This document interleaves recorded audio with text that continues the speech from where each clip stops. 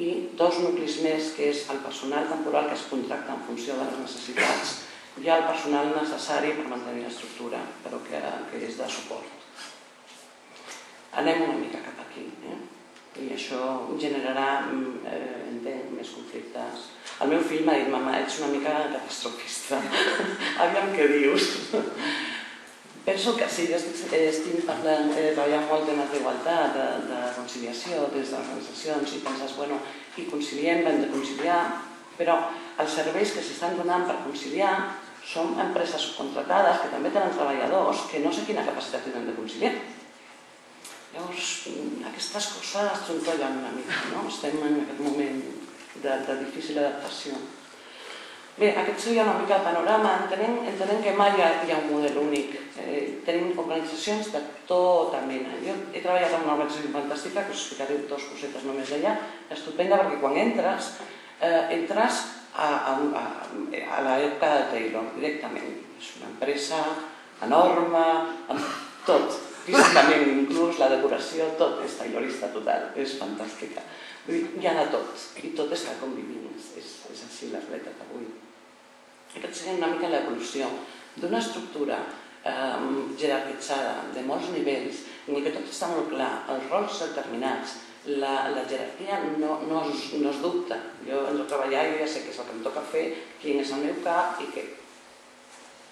Per tant, hi ha menys possibilitats d'interacció i, de, i de conflicte. Passem a estructures planes en les que hem de treballar amb la visió aquesta de gestió per processos, eh, un és client de l'altre. Això ens obliga... En el model 1, els conflictes podien sorgir del departament comercial, el típic, com el departament comercial, departament eh, de producció. Els de producció veien una amenaça per als de comercial que no feien més que vendre i que no tenien seny. Els de comercial es veien eh, d'alguna manera limitats per la capacitat dels de producció, que és que no, tenien, no sabien el que costava vendre. Aquí, d'aquest tipus eren els conflictes. Val? Eren grups tancats i que eren més cohesionats en tant en quant teníem un enemic extern. Eh? És una, una dinàmica que utilitzem, en dinàmica de grups per aconseguir cohesió. Clar, si de cop i volta jo passo a ser part d'un procés i jo sóc client d'algú i proveïdor d'un altre, llavors haig d'ajustar-me. Les demandes són unes altres. I comencem aquí a treballar temes de treball en equip. En el primer model, jo diria que majoritàriament en el primer model estem amb el, fins als 90 i la demanda aleshores era cursos de motivació. El que s'havia de fer amb, amb les persones de l'organització era motivar-los. Vale? Passem al model 2, en diferents eh, ritmes d'evolució, i aquí el que, el que es treballa és treballar en equip hem d'aprendre a treballar en equip, hem d'aprendre a comunicar-nos. Comencem a incorporar altres competències. I algunes, no moltes, algunes organitzacions estan ja en el, nivell, en el darrer nivell, que és un nivell de xarxa, un nivell de, de treballar per projectes, amb més o menys continuïtat en el temps. Clar, aquest exigeix una negociació, pacte continu continu, perquè si no, no podrien donar resultats. Una mica, una... una... Això ho pensarem. Eh? Si no és impresentable, si no és que és impresentable, pensarem. Bueno, és una mica d'aproximació a les diferències que hi ha entre els dos models. Quan es vol definir l'organització, jo no la podré definir perquè no l'han pogut definir persones que han treballat més que jo, que són més teòrics que jo. L'únic que puc fer és recollir diferents eh, definicions. Entenem que aquella realitat que tenim davant eh, està mediatitzada sempre per al que jo vull veure. Per tant, l'organització també. A banda de que tots intuïtivament sabem el que és una organització, històricament hi ha hagut una dificultat eh, important per definir què és, com la definim exactament. Ara us comentaré els elements que tenen, però Volia eh, fer menció de que si jo l'organització la veig, la miro, com si fos un, un sistema polític, estaré centrada en els sistemes de poder, en la jerarquia, com es gestiona, com es delega, val? Quins, qui té el poder a l'empresa. Si el, la miro com un sistema de processament d'informació, veuré també qui disposa de tota la informació, qui té accés, quins són els privilegiats i, per tant, qui tenen, qui tenen poder. Com a un sistema cultural, em centraré en veure quines són les pràctiques habituals que són considerades eh, adequades per a aquest sistema cultural. No tots els comportaments tenen el mateix significat en tots els àmbits. La pròpia eh, organització cada cop més s'està centrant en elaborar una cultura pròpia que faciliti la comunicació entre els membres de la... una mica responent a la, pregunta abans de la cultura. Les famílies tenen una cultura i les organitzacions també. Abans, en el model jeràrquic, no ens havíem de preocupar gaire per la cultura. Eren altres paràmetres els que estàvem eh, operant. Aquí és tot, comença a ser tot tan intangible, és més participatiu, no hi ha tant, tant rol, tant, hi ha més definició, i allò que d'alguna manera agrupa i alinea a tothom és la cultura. I per tant comencem a treballar quina és la nostra cultura, què són els, quins són els valors d'aquesta empresa i com els posem a operar per obtenir els resultats. A totes les descripcions eh, surten aquests elements. Això eh, prové de almenys dos o tres investigacions en les que eh, els autors van fer una revisió de totes les definicions d'organització. Les eh, que més es repetien eren aquestes, aquestes, eh, aquests components. Una organització es crea sempre per aconseguir un objectiu. Claríssim, està orientada a un objectiu està formada sempre per persones i, i grups. Uh, es dona diferenciació de funcions. L'objectiu no és un objectiu que pugui aconseguir una persona sola i per tant ha de comptar amb més persones i s'han de dividir les tasques.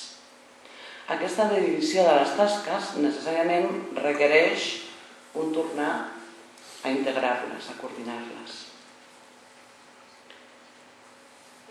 Inicialment, jo avui no, no sabria què dir, per això he posat projectes. Inicialment, una organització es crea amb voluntat de continuïtat, tot i que vagi eh, desenvolupant diferents eh, objectius al llarg del seu temps, de la seva existència. Avui en dia, com que treballem per projectes, ja no tinc tan clar que aquesta, mm, aquest element formés part de, de la definició. I en, evolutivament en el temps es va així un altre element que és el de l'entorn. Òbviament, la, la, qualsevol organització del tipus que sigui està immersa en un entorn social i està influïda per ell a l'hora que eh, l'influeix. Molt bé, d'aquests elements comuns que poden dissenyar-se mm, de mil maneres és d'on deriven eh, diferents conflictes que ens podem trobar a les organitzacions.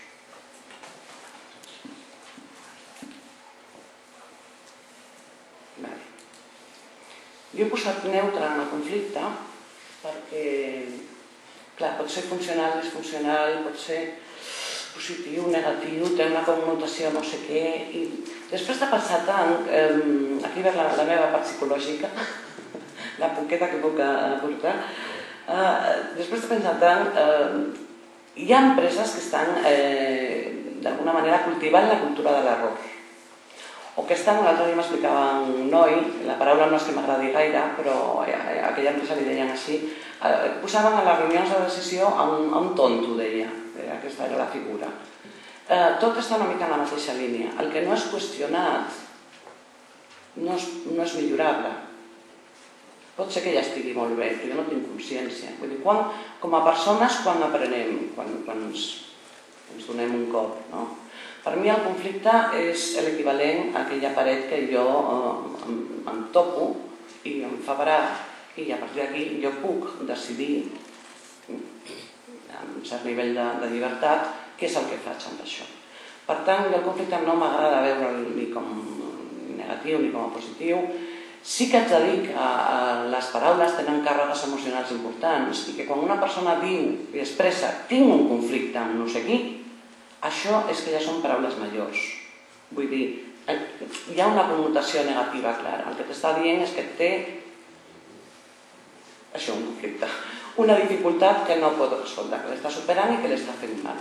ja no és un problema, un, és algo més enllà. De tota manera, eh, si mirem una mica les etiquetes que hem posat al llarg de la vida de les coses, eh, a mesura que passen a la societat, té una cosa bona, no? sensibilitzem, és la primera tasca per començar a fer coses, sensibilitzem. Però a l'hora que sensibilitzem, el que fem és, d'alguna manera, vacunar. Les paraules passen al llenguatge quotidià, perdent una mica la, el valor que tenien. L'altre dia em vaig quedar una mica sobtada perquè en, una, en un procés de selecció una noia em va dir no, és que aquí em vexaven. Espera, són paraules majors, sí o no? És, és, clar, no li pots preguntar direct, directament com. Llavors, vas al llarg de la conversa, és únicament que davant d'un error a mi el, el, el meu responsable em donava un crit. Bueno, pues això és val? percepció personal, aquí entrem també en com interpretem el que ens envolta i quins recursos tenim per afrontar-lo. Mm, bueno, em direu que no, jo penso que és neutre el conflicte, penso que és un aviso per a navegantes que em permet, em permet dins de la corba d'aprenentatge adonar-me de que eh, prendre consciència de la meva incompetència en cosa. Hi ha alguna que estic fent malament i per tant és un indicador. Partir d'aquí ho hauré de treballar. I respondré en funció d'un munt de limitacions o de característiques de les meves creences, de les meves expectatives, de les meves... Eh... Hi ha moltes coses que parlem també en organitzacions eh, i en la vida quotidiana. No estan a vegades eh, el poder o, o, o, la sabidoria, o la saviesa que pugui tenir una persona, o, sinó la percepció que tenen la resta d'aquest poder. Això funciona més que, la, que, que el real. Per tant, estem vivint sempre en un món de, de percepcions. I, i aquí diria que és el, el, el, el que més podem aportar des de la mediació. Eh, manegar aquesta, quina interpretació s'està donant a les coses, i com s'estan donant expectatives i com reaccionem amb la frustració que no respon a una realitat. La pròpia organització en si mateixa, eh, en la pròpia evolució, igual que les persones, passa per diferents crisis. Eh, ho, ho he volgut posar només per, per dir que, que, és un element natural, que és que, igual que no qüestionem que els nens passen per l'adolescència, les organitzacions passen per diferents moments en els que eh, s'han de reactualitzar.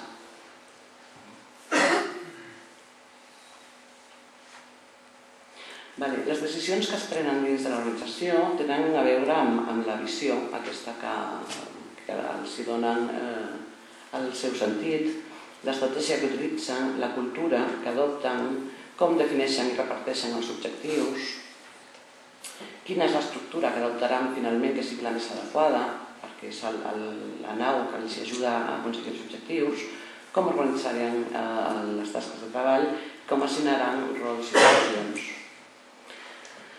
Moltes empreses eh, generen conflictes perquè la visió no està comunicada o la visió és, és únicament un paper fantàstic. Algunes tenen fins i tot quadros magnífics de la seva visió escrita. La visió ha d'estar eh, operant en el dia a dia en tot el que fa, en tot el que fa la, la, les persones de l'organització òbviament des, del que són, des dels que són més referents i models, que aquí està clar que és de, de, de, de dalt cap avall. Aquesta visió ha de ser eh, comunicada i compartida i construïda amb totes les aportacions de tothom.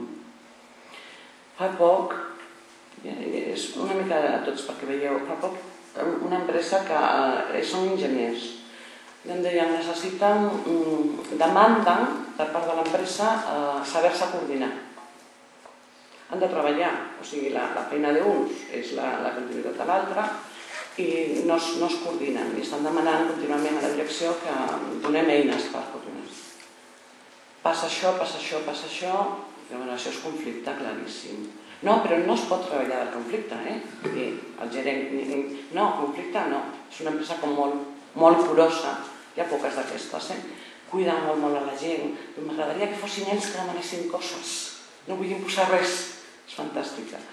Bueno, doncs aviam, a mi el que se m'acudeix és eh, fer un, un seminari de eh, competències de direcció, eh, competències directives, en què treballarem temes de comunicació, d'empatia, d'entendre l'altre, de persuasió i mm, veiem què és el que, va, el, el que de transcorrent en aquestes sessions. Ells treballaven fins a les 3 i mitja i a les 3 i mitja, no, a les 2 i mitja, de 2 i mitja a 3 i mitja anaven a dinar i començaven a les 3 i mitja. El seminari acabava a les 8 i mitja, 5 hores. Sí? El primer dia vam sortir a les 9 i mitja, sense parar. No van deixar ni fumar. Perquè el primer que va sortir va ser en conflicte. Directament. Què fas amb, amb això? Gestionar-lo, òbviament. És, un, és, és una manera d'aplicar la, la mediació que, que ens trobem ara. Amb aquest grup es van anar treballant en les diferents sessions i finalment van arribar a un compromís, una mica en la línia del que ella deia. Els compromisos són sempre, encara que estiguin dins d'una organització, hi hagi coses de les que no poden, ells no poden pactar si canviaran la visió de l'empresa, per exemple. Però hi ha coses que estan dins de la seva àrea d'influència, que és com volem treballar i com treballarem i com ens comprometem a treballar a partir d'ara. I aquí hi, ha, hi apareixen coses com generositat, compartir recursos, mirar primer què és el que necessita l'altre, perquè tenien tot un departament eh, a sota d'ells. Eh, la cultura, els valors, una mica el mateix. Freqüentment es diu, bueno, aquí valoramos la aportació grupal, eh, que l'equip treballi, però es donen primes individuals. Aquesta empresa que jo us comentava de, de Taylorista Total em van cridar perquè eh, la gent deia que arribava a les mans, això sí que jo no, no ho havia vist mai, a les mans. Val? Gent que portava més de 30 anys a la mateixa empresa, era una empresa del tèxtil que havia estat reconvertida, i llavors els sordidors i aquests, aquests oficis que jo ni, ni, ni, ni havia sentit parlar, havien estat reconvertits a operaris, operaris realment d'apretar un botó. Val? Llavors, tenien el tema del, del que l'ofici ja no el podien exercir, però a més cobraven molt més que companys feien la mateixa tasca. I era una situació de conflicte important. Es va treballar amb, el, amb els equips, es va novament treballar el mateix, en general les persones que volem, un espai tranquil, còmodo, sisplau, que em respectin. Jo ja et respecto a tu, però i apel·lant a tot això, a temes de comunicació, a temes d'empatia, a temes d'entendre que l'altre no és tan, tan, no faci una atribució negativa de les seves intencions, vam aconseguir que comencessin a funcionar bé. Quan començaven a funcionar bé, que no s'ho creia l'empresa ni m'ho creia jo, també ho vaig dir, va l'empresa i decideix afegir una altra prima individual. Bien, fantàstic. Aquestes coses penalitzen, perquè és història. Val? Jo sortiré d'aquesta empresa, me n'aniré a una altra, i me'n vaig amb tot el que jo he après. No te puedes confiar, no sé què, t'enganyaran, totes aquestes coses que formen part de la meva història. Els valors han de ser molt coherents. Si diem que eh, es valora la dedicació, s'ha de valorar la dedicació. Què està passant ara quan això? És molt, molt, molt... És que és, és dur. Vull dir, les generacions que ens trobem en temes de canvis, la sàndwich, aquestes coses, doncs ens toca. Eh, moltes empreses ara venen d'una cultura de premiar la permanència, l'antiguitat, la dedicació.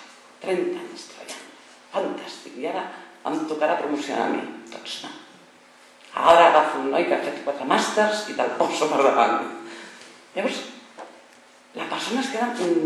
Com es queda? Frustrada, frustrada perquè, perquè és, és un engany.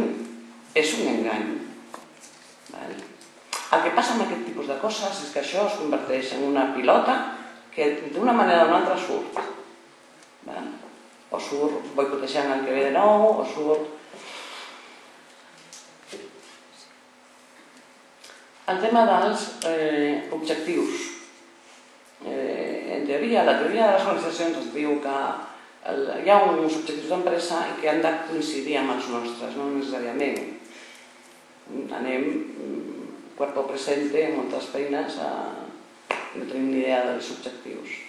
Clar, si aquests o els valors són eh, molt contraris als nostres, aquí tenim dificultats, coses que jo no m'havia plantejat als 16 anys quan vaig entrar a aquesta empresa, me les plantejo ara. I se la planteja molta gent. Com? Jo vull, a mi m'agrada molt la comunicació, jo tinc un, un, una feina fantàstica com a responsable de comunicació d'una empresa, però no m'agrada l'empresa, ho vull fer a una ONG, perquè això està en línia amb els meus valors. I aquestes coses li donem importància i abans no, no, no, no ho qüestionàvem. L'estructura, la presa de decisions. El mateix, si la presa de decisions en el model jeràrquic eh, no implica que jo hagi d'estar negociant amb ningú, és més difícil que, hi hagi conflictes. En el model en què estem tots en interacció, òbviament és molt més fàcil, hi ha diferents eh, visions. Els estils de lideratge. Moltes investigacions demostren que el motiu per al que de les organitzacions són els líders. Líders és un supervisor i qualsevol persona que té una persona al seu càrrec, encara no, no sé quin altre nom utilitzar i sempre utilitzem el mateix. És el líder, és el que fa que una tasca, per exemple, monòtona no sigui penalitzadora per al seu estil de direcció i és la persona que pot fer que les persones se'n vagin de l'organització. Aquests senyors pobres que també representa un canvi important, eh, ara acostumen a no tenir poder i acostumen a tenir col·laboradors, antigos treballadors, col·laboradors més informats, més formats, més participatius, més tal. Llavors, s'estan trobant que no saben ben bé com és la manera de dirigir això. Què faig? Si em, em qüestionen si, si exerço poder, que a més, no, a més no tinc, i a més és sabut que no ho tinc, què faig? Estem en un moment complicat. Jo diria que de tota l'organització són els elements més, més febles. Abans tothom queria ser jefe. Perquè el jefe era el que arribava, va fer arribar a i ara s'ha revés. Ara la gent a més usada de manera molt, molt, molt aviat, eh? el mes de 18 i tal, ja té un lloc jefe, no jefe és el que, el que té una responsabilitat, el que no sé què, el que tal. Tot això mostra com ha canviat tot. Els rols i funcions. És obvi que eh, el que fem, eh, i sobretot segons el grau de maduresa que tenim, eh, ajuda, a configurar, ajuda a configurar la nostra autoimatge, el nostre autoconcepte. A vegades fins a nivells eh, malaltissos.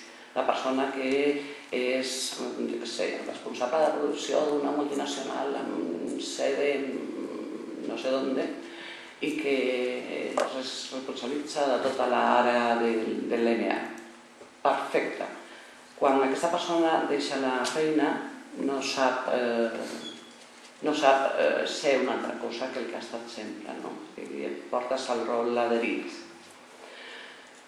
Si, si això és així, si aquella cadira té importància, en aquesta primera, primera empresa meva, va ser molt divertit perquè vaig fer un aprenentatge fantàstic. I és que les cadires tenen poder.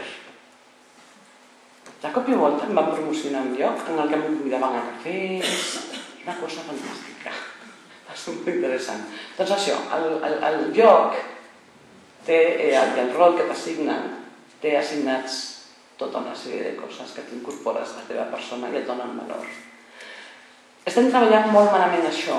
Eh, jo recordo que una persona eh, que entrés a treballar a un banc fa 20 anys era fantàstic. Oye, estoy trabajando en un banco, eh? No només per l'objectiu, que és eh, té un horari bé i té 16 pagues, no només per això, sinó perquè tenia una certa percepció d'estatus positiu.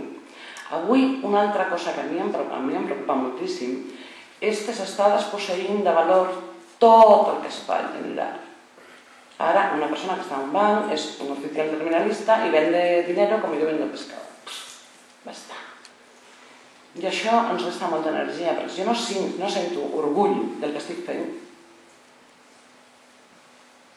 No, no, no tinc energia per fer-ho. Haig de sentir-me. Això en qualsevol tipus d'organització. És igual, eh, la que fem perquè donem per suposat que quan estem en, en àmbits d'ONGs eh, tot això ja es dona, però tenim el mateix, estructures, jocs, responsabilitats i persones. Per tant, l'objectiu de l'organització no garanteix en absolut que hi hagi un altre tipus de cultura, en absolut. Hi ha lluites de poder, hi ha, hi ha tot igual. quan jo organitzo la feina, una de les coses que puc fer és eh, controlar la interdependència que tindran les persones que estiguin eh, gestionant-la. Ho puc fer de tal manera que cadascú faci la seva tasca i doni un resultat, amb el qual no hi ha interacció. Les, les, les nenes que estan en els call centers, centers de, de sigui on sigui, reben una trucada i l'emeten, seria aquest cas. Jo no interacciono amb l'altre i per tant per temes tasques no, no tindrem conflictes. Quan és seqüencial, que jo necessito, és més per processos, necessito el que fas tu per continuar allò. Aquí ja es poden generar més si ha de ser el grup el que li gestioni de manera seqüencial, encara tenim un increment més, un plus més de possibilitats, més no. I quan tenim el treball en grup creatiu, fantàstic, aquestes coses, llavors és, és, és, les possibilitats s'incrementen moltíssim.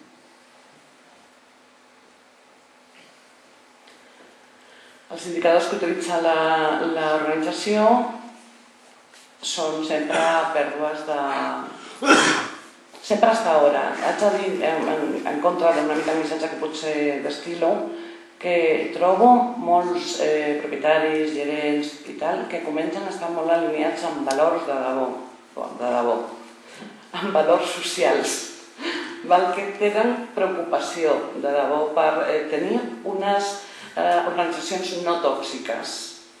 Val? Que hi ha una preocupació. Fa 20 anys a mi em posava els nervis perdona que t'ho faci a tu, que et deien això dels recursos humans és molt important. I et quedaves amb una cara de, de dir ah, t'ho estaven dient perquè quedava bé dir-t'ho, perquè tu et dedicaves a això i ara, eh, contràriament, estic veient moltes empreses que estan veritablement preocupades per això, que hi ha molta sensibilitat per crear entorns en els que les persones estiguin satisfetes. I és, i és, és bo en principi és bo perquè, òbviament, eh, els resultats també, també, també són millors. No? Doncs els indicadors de, de conflicte són això, eh, males relacions, baixa de productivitat, no, no es millora... Eh, cap organització està tan ben definida com que perquè tot estigui cobert, qualsevol, qualsevol incidència que pugui sortir estigui coberta. Cap el que passa habitualment és que si el clima és l'adequat, les mateixes persones cobreixen aquelles àrees que veuen que no, que no són de ningú.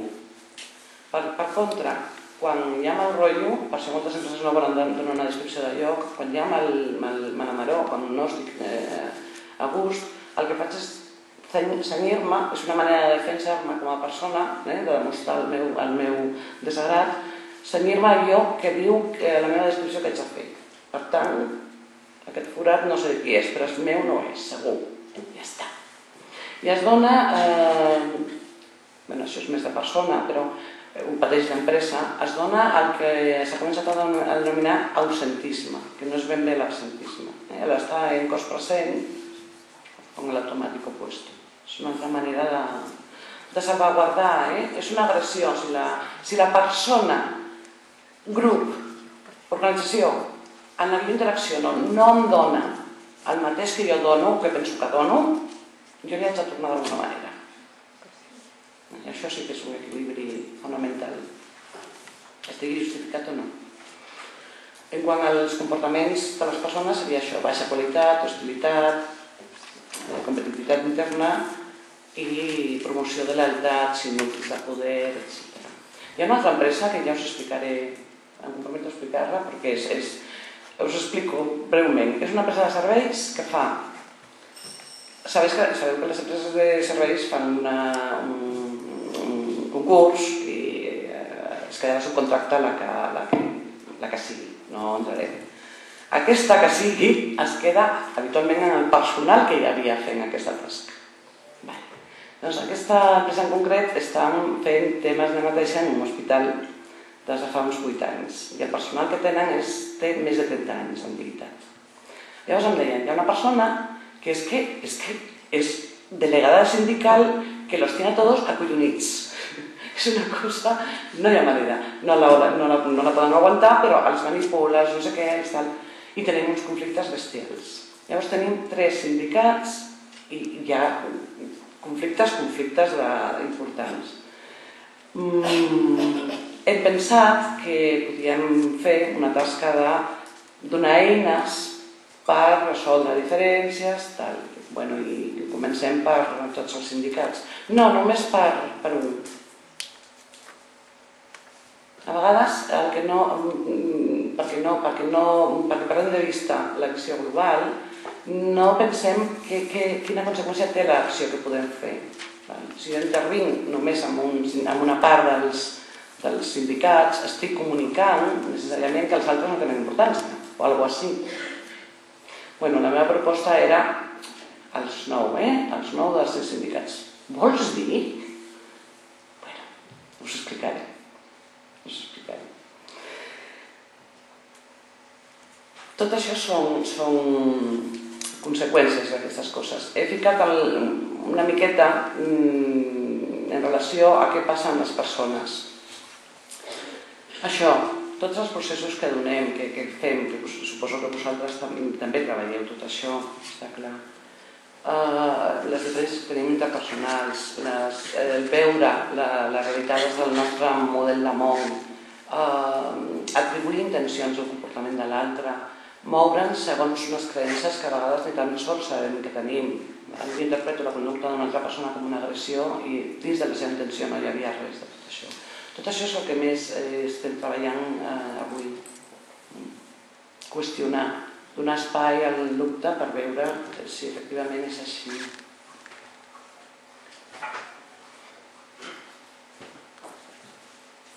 Una, una breu anotació que el desenvolupament dels conflictes, al cap i a la fi, es donen entre persones. Llavors, les persones podem ser generadores, però també podem ser moduladores o transformadores.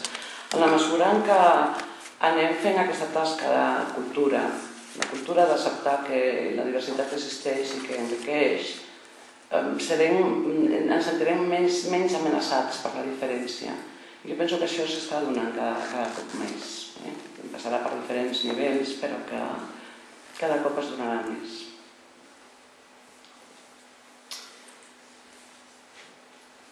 En aquesta línia s'està començant a veure, i per això la, les empreses diuen ensenya'ns a com fer per mm, resoldre un conflicte.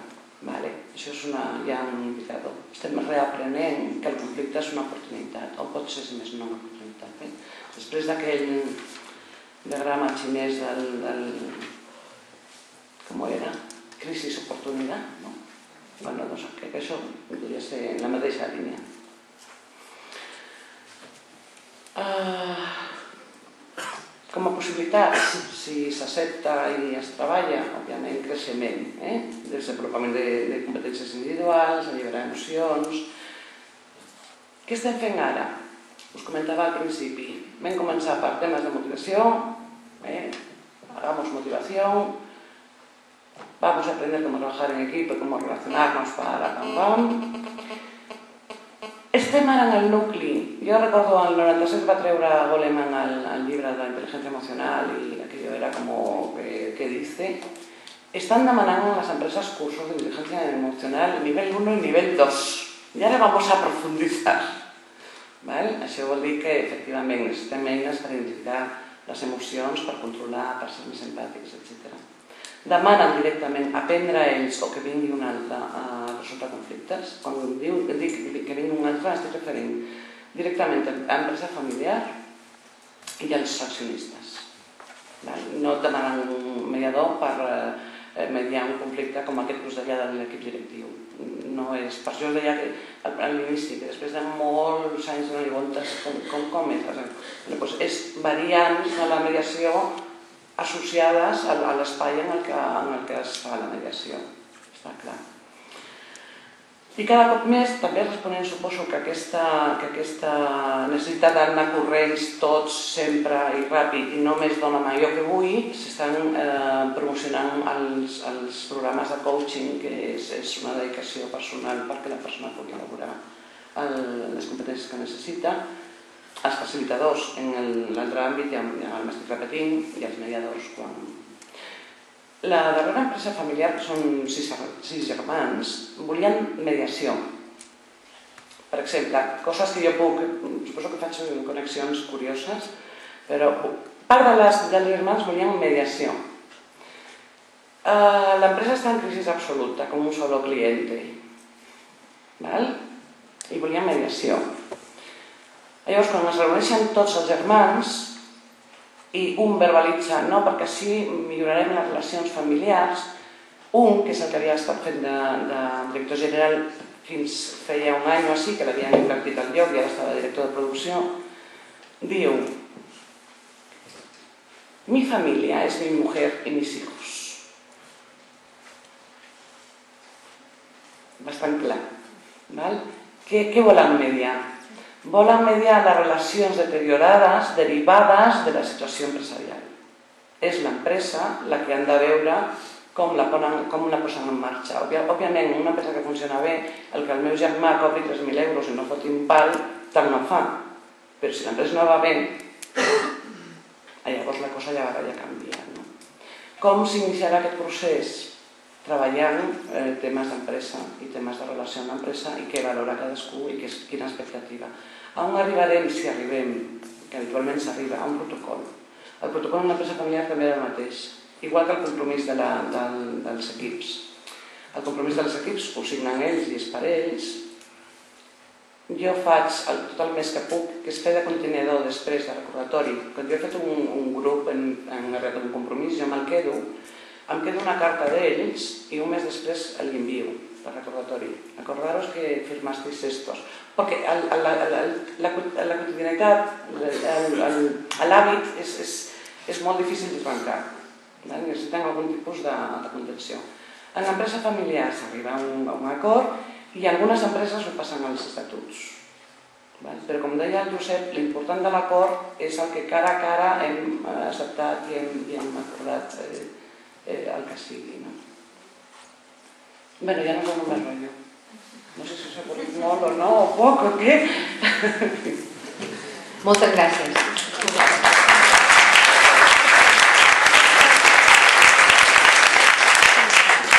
Bé, ara és el moment de fer-li preguntes doncs, a la Susana o si us heu ocorregut una altra pregunta per la Pilar que hem parlat abans, doncs eh, no sé, teniu la paraula.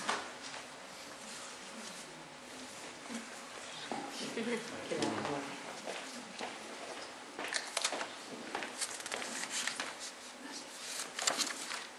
veritat és que l'exposició que has fet eh, és excel·lent Gràcies. No, en el sentit de que ha sintetitzat molt bé molts dels conflictes que hi ha a les empreses. No? Perquè una de les coses que a mi sempre m'ha preocupat i a mi m'interessa l'empresa familiar és primer el que tu has dit, empreses tòxiques, jo dic malaltes, eh? malaltes, on els propis directius estan malalts, eh? comportaments psicòtics, el qual fa que tota tota l'organització estigui malalta. No? Con la qual, clar, també parles d'una crisi de valors, que és important, o sigui, s'està instal·lant el desordre, o sigui, el caos, a partir del qual, en un moment de crisi, sortirà el nou ordre. No?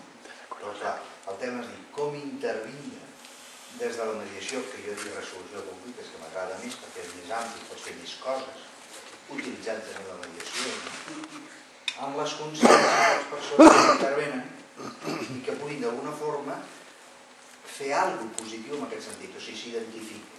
Per exemple, ara, has comentat algú és molt interessant. No, ara s'estan començant a preguntar per la intel·ligència emocional. Carai, perquè no els hi funciona, perquè estan perdent diners, perquè hem vist que la situació de látigo ja no va bien, perquè, i perdó l'expressió, putear este tio ja no sirve, no? Per tant, tenim que buscar altres sistemes perquè funcioni, però no entrem gaire a fons. Perquè si es donen compte de la realitat, resultarà que aquí no tenim a ningú. Llavors, clar, jo crec que la funció de la resolució de conflictes dels mediadors en aquest camp és fantàstica. Perquè clar, si se'ns dona l'oportunitat des de dalt de poder intervindre i anar canviant actituds a través de diferents sistemes, eh? a través de, que a vegades doncs, pot ser el sistema de constel·lacions, sistemes d'aquells, no? d'alguna forma podem fer una bona eina. Ara, el que sí és cert és que hem de ser acceptats. Tenim que ser acceptats. Jo crec que aquí tenim un camp fantàstic. Ara, a mi Perdona. No, a mi el que més m'ha agradat i, i, i m'està ajudant la teva exposició és a sintetitzar tota la problemàtica i com abordar-la, no? Des d'on. No? I llavors poder ser útil. Poder ser útil. Eh, jo, mm, a mi em fa sentir molt, molt satisfeta la sensació d'aportació que tens com a, com a persona, més enllà de com a professional, és, és molt, molt gratificant. I és cert, has de tenir línia de la direcció. A vegades no la tens línia del tot, però davant del dubte et deixen jugar una mica i et coles. I si només és en un nucli petit de l'organització que canvies l'actitud, ja, ja, és, ja és un, un nucli per començar, no? ja has fet alguna cosa. És, així. Algú més? No? Bueno, jo, si us sembla, per acabar, si no hi ha més preguntes o més comentaris, eh? qualsevol opinió, evidentment, és, és, és molt vàlida i, i l'apreciem. Qualsevol cosa que vulgueu aportar en aquest moment penso que, que podeu dir-ho perquè tots ens servirà. No sé si hi ha algú que vulgui dir alguna cosa més com el company, no? Jo els demanaria, aquí tenim tres persones del departament que són les que atenen els representants d'aquestes associacions i fundacions, doncs ho sento, és un atac així imprevisto. Si ens poguéssiu dir alguna cosa de la vostra experiència, que esteu informant, que esteu atenent aquestes persones, algú, alguna anècdota inclús que ens pugui ser útil, no sé, un dia Isabel, Anna, ens vulgueu ho sento, eh, però alguna cosa que ens vulgueu dir que pugui ser útils a tots, ja que vosaltres esteu informant, que no vol dir que tots els que informeu sabem que no arriben a mediació, no? però alguna coseta, algun punt en comú, alguna Creieu que ens podeu dir alguna cosa d'això? Sí? Espera un moment, sisplau, que aquí la Maria donarà Gràcies. Hi ha un desconeixement molt important no? del que implica i del que pot servir la mediació perquè quan a nosaltres ens arriben, eh, ens arriba la problemàtica, les dues parts estan molt enfrontades i cadascú té la seva postura molt clara. No? I aquí el que es perd molt de vista és el que comentava abans el, el Josep, que jo penso que és molt important, que és la finalitat per què s'ha constituït l'associació. No? I penso que aquí l'important, la nostra tasca aquí és recordar-los això no? i fer que les, les dues parts a banda de resoldre el conflicte d'una manera o d'una altra, doncs sigui molt clar, doncs recordin aquest motiu, no? I trobin aquest punt d'unió a partir d'aquí, que l'important és, és sumar, no? I no crear aquestes diferències i fer-les cada vegada més grans. Que arribar a una resolució judicial de, del conflicte el que fa moltes vegades és que manté la diferència. I moltes vegades el que passa és que aquesta associació acaba dissolent-se, se n'acaben constituint dues, cadascuna de les parts constitueix la seva i malauradament això no serveix per res perquè les dues la seva finalitat és la mateixa. No? I l'important és unir a les persones que pretenen la mateixa finalitat. Aquesta és la meva opinió personal. No, jo només volia dir que, que, bueno, de, tots els, els casos que ens van arribant i que, que la gent ve allà i ens, o sigui, els, els conflictes inicials que, que ens van arribant no tots que arriben a mediació perquè moltes vegades són conflictes que no, en, en realitat no són conflictes eh, reals, però en, el que ve molta gent és a parlar, explicar el seu, el seu cas, el seu punt de vista, eh, volen que els hi donis tu la raó, clar, tu, tu no et posiciones, però bueno, si més no els escoltes, els, els hi dones ja quatre eines i ja, ja, ja no tornen. O sigui, ja, ja entenen que ja és veritat, que ja han de parlar amb l'altre, que han de solucionar-ho d'una altra manera. No? Clar, això és la part, diguéssim, de conflictes personals. No? Després ja, clar, quan realment el conflicte ja ha de derivar a l'ordre judicial, doncs ja, ja és una altra història. No? Però moltes vegades el, el, la, la necessitat que tenen és de venir, d'explicar, de, de que algú els escolti, de, de que estiguem allà, de que, saps, de, de que els donem una mica de suport, però bueno, no, no posicionant-se, no? senzillament només escoltant el problema que tenen. No? Són, són problemes molt de base. Una cosa més? Jo crec que ja ho han dit molt bé elles. Sí, va. Al, al darrere ja tenim aquí el Jordi que també ens vol dir alguna cosa.